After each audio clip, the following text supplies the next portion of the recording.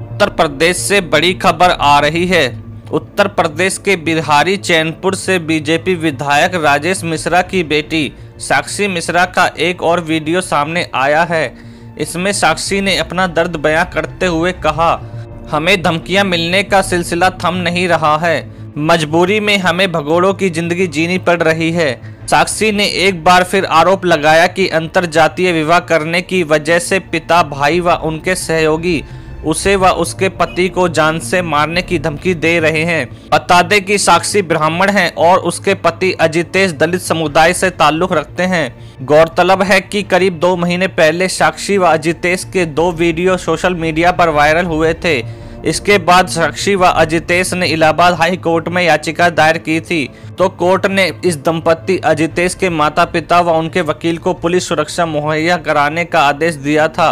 बता दें कि 4 जुलाई को शादी करने वाले साक्षी व अजितेश राजधानी दिल्ली में थ्री बीएच के किराए पर लेकर रह रहे हैं और दो पुलिसकर्मी 24 घंटे उनके घर के बाहर तैनात रहते हैं। टाइल्स का कारोबार करने वाले अजितेश ने बताया, पुलिसकर्मी हर जगह हमारे साथ होते हैं। हमें इंटरनेट के माध्यम से धमकियाँ दी जा रही हैं, जिससे हम काफ़ी डरे हुए हैं। साक्षी ने कहा, हर जगह लोग हमारे वीडियो देख रहे हैं। हमें रोज़ाना व्हाट्सएप फेसबुक पर धमकियाँ मिल रही हैं। कुछ लोग हमारे बारे में झूठी खबरें फैला रहे हैं और हमें धमका रहे हैं। कुछ समय पहले किसी ने यूट्यूब पर फेक न्यूज़ डाली थी।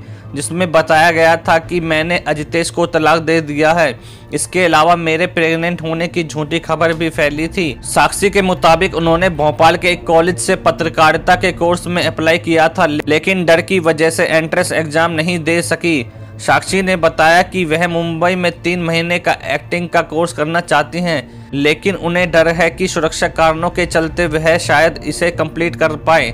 अजितेश ने कहा, हमारी शादी के मुद्दे की वजह से मेरी पत्नी की पढ़ाई प्रभावित हो रही है। मेरे कारोबार पर असर पड़ रहा है। मेरे लिए काम करने वाले ही कारोबार संभाल रहे हैं। साक्षी ने कहा, यूट्यूब पर झूठी खबरें फैलाने वाले कुछ न्यूज़ चैनल के खिलाफ मैंने शिकायत की थी, लेकिन पुलिस ने कोई कार्रवाई नहीं की।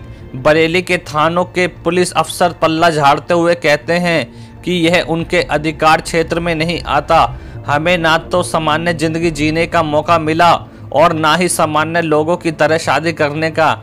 यहाँ तक कि शादी के बाद से अब तक समाज की वजह से हम भगोड़ों की ज़िंदगी जी रहे हैं। बरेली के वीर सावरकर नगर में रहने वाले अजितेश के पिता हरीश कुमार कहते हैं कि उन्हें साक्षी के पिता की ओर से धमकी का कोई भी कॉल नहीं आया। इसके बावजूद वह स्थानीय लोगों की वजह से डर के माहौल में जी रहे हैं।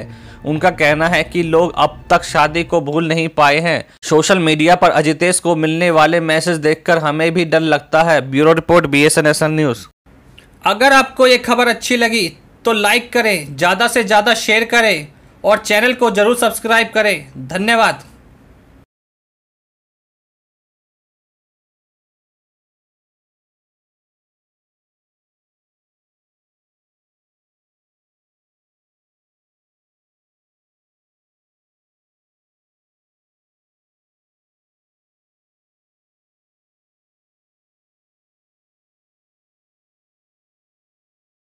इन वीडियो के वायरल होने के बाद अनजान लोग हमें कॉल करके, टेक्स्ट मैसेज करके और व्हाट्सएप मैसेज करके जान से मारने की धमकी दे रहे हैं।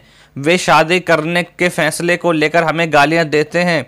अपने किराए के घर के अलावा हमें कहीं भी सुरक्षित महसूस नहीं होता।